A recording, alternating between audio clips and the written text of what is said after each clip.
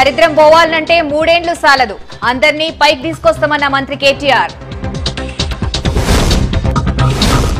తొంభై ఐదు శాతం రాయితీ మీద ఎస్సీ ఎస్టీలకు ట్రాక్టర్లు ఇంతమందికి ఇచ్చుడు ఇదే మొదలన్న ప్రచారం.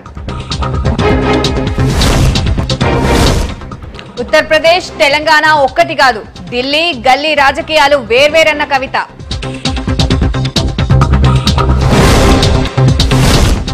కొత్త బండ్లు కొనేటందుకు లైన్లు కట్టిన జనం అయిపోయినాయని షోరూంలు మూసుకున్న డీలర్లు.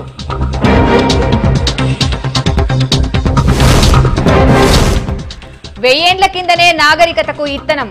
సిద్దిపేట జిల్లాల పురావస్తు శాఖల తవ్వకాలు.